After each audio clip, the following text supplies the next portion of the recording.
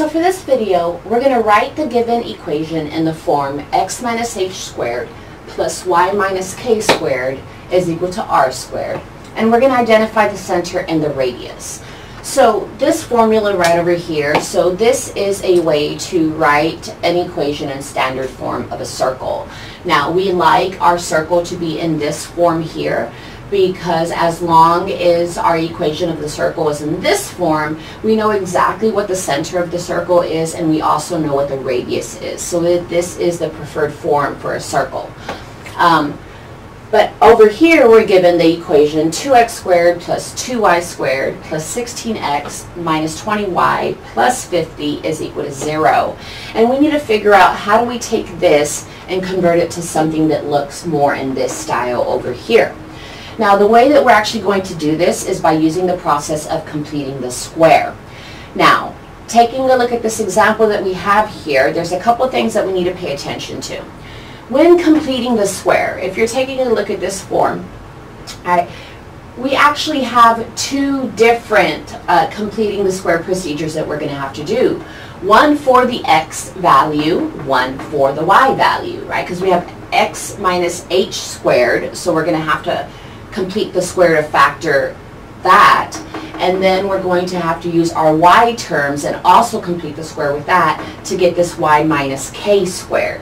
So the first step in doing this is to do a little bit of rearranging with your equation.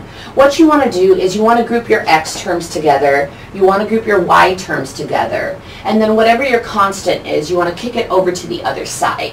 So my x terms are going to be 2x squared and 16x. My y terms are going to be the 2y squared and the minus 20y. And then this 50 is going to get kicked over to the other side. So this is how I'm going to rearrange it. I'm going to take 2x squared plus 16x, and I'm going to leave a space, plus 2y squared minus 20y, and I'm going to leave a space. And if I move this 50 over to the other side, I'm going to subtract it to both sides. So this is now going to equal to negative 50.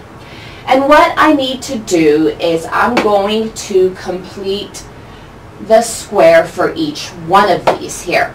Now, when it comes to completing the square, one of the main things that we need to have going on with our equation when completing the square is we want our leading coefficient to be a 1. So my leading coefficient for my x terms would be this 2 right here. And my leading coefficient for my y terms is also going to be this 2 right here. And actually, if I take a look at every problem that I have in this equation, 2, 16, 2, 20, and negative 50, these are all even numbers. So if I want to get rid of the 2, the way that you get rid of the 2 is by dividing by it. But we can't just divide these two terms by 2. You have to divide the entire equation by 2. So every term is going to get divided by 2 so that we can simplify this and put it in the proper format for completing the square. So let's go ahead and divide. 2 divided by 2 cancels, leaving us with x squared. 16 over 2 gives us an 8. We're still leaving our space. Plus 2 over 2 cancels, leaving us with y squared. Minus 20 over 2 is 10. And then that's going to equal to a negative 25. Now I have ones here in front as my leading coefficients. That's exactly what I'm looking for. Now we can complete the square. And again, we're going to do this twice. Once for the x's, once for the y's. When you complete the square, what you need to know is you need to be aware of this little mini formula right over here. 1 half times b squared. For the whole process of completing the square, we're trying to add this magic number this third term onto each one of these that's going to allow us to factor each one of these into a perfect squared binomial. Okay, the way that we find that magic number that goes in here is by this little formula. Now, B signifies your middle term in a quadratic equation. This is a basic quadratic equation here. A is the coefficient of your x squared term, b is the coefficient of your x to the first power term. This is the term that we need to be aware of here. For our x values, x to the first power is right over here. 8 is the coefficient for it. For So for my x terms, b is going to be 8. So I would have 1 half times 8, then squared. Well, half of 8 is 4, and 4 squared is 16. So it's going to be this 16 is going to be the magic number that I'm able to put in right over here. I'm going to pause and not get to the factoring yet until we do our y terms. For our y terms, uh, find your y to the first, first powered term. The coefficient for that is a 10. So I'm going to go through this equation, this little mini formula all over again, but this time b is going to be 10. Half of 10 is 5, and 5 squared is 25. So 25 is going to be the magic number that I put in here. Now, one other thing that we need to be aware and I plugged in a plus 16 here. I plugged in a plus 25 here.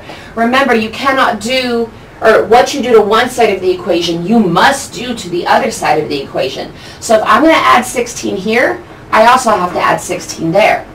If I'm going to add 25 here, I also need to add 25 here. Okay, so let's do some cleanup. At this point, I should be able to factor these into perfect squared binomials. So let's see what happens. Factoring our first one, our three terms right over here is what we're looking at. Our first term is x squared, which tells us x times x.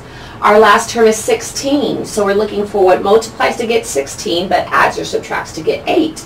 And that will be a 4. Everything is positive here, so everything is positive in our factors. Notice that these are the exact same factors, x plus 4 times x plus 4. We can condense this by writing that x plus 4 squared. Factoring our y terms, looking at our first term, y squared, that factors to y times y. Back here we have a 25, so we're looking for what multiplies to get 25, but adds or subtracts to get 10. That will be a 5. Okay. Um, for this particular one, not everything is positive here, so paying attention to our signs. Whatever sign your middle term has, the bigger number has to have it. These are both the same. No number is bigger than the other one. But if you pay attention to your last term here, 25, it is positive. The only way to get a positive when multiplying is if they are both the same sign. So because I have this negative here, and I know that they have to have the same sign, that means these are going to be minus minus.